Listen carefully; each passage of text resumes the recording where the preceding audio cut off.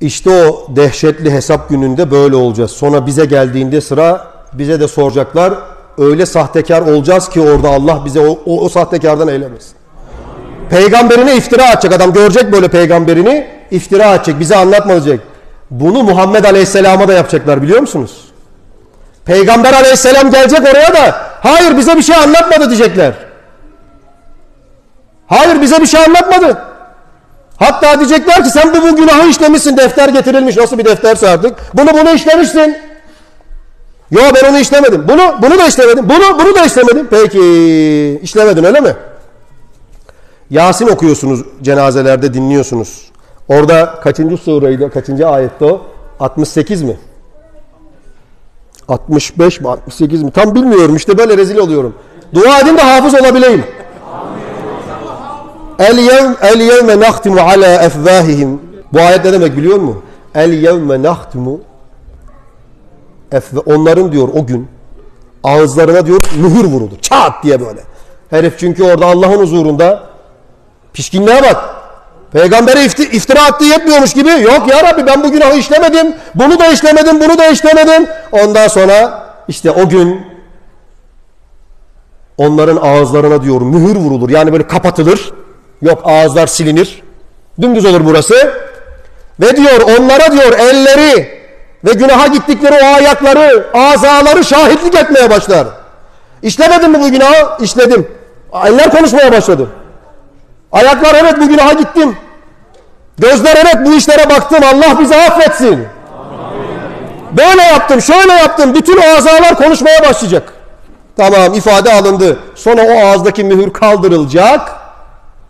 Adam diyecek ki ellerine bakarak böyle ne yaptınız ya ne yaptınız? Beni de yaktınız kendinizi de yaktınız. Aynen bunu söyleyecek. Ne yaptınız siz ya? Beni de yaktınız kendinizi de yaktınız. Sonra o azalar bir daha o adama konuşacak. Seni kim susturduysa bizi de o konuşturdu diyecek. Neye laf söylüyorsun sen?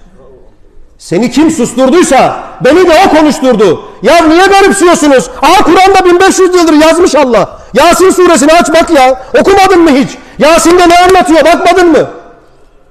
O gün ağzımıza mühür vurulacak. Eğer ki inkarcı olursak günahlarımızı ellerimiz bize şahitlik edecek ya. Yok kaçarı yok. Hakimin kendisi şahit. Kime yalan söylüyorsun arkadaş?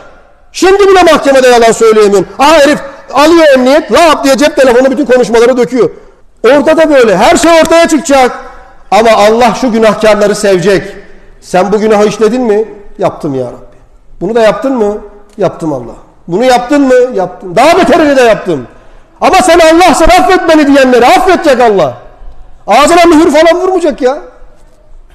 İtirafçı olursan günahlarından, acizliğini gösterirsen ve burada da dersen ki ben öyle diyorum ya Rabbi günah işliyorum ama isyankarlığımdan değil acizliğimden işliyorum. Sen affet bizi ya Rabbi.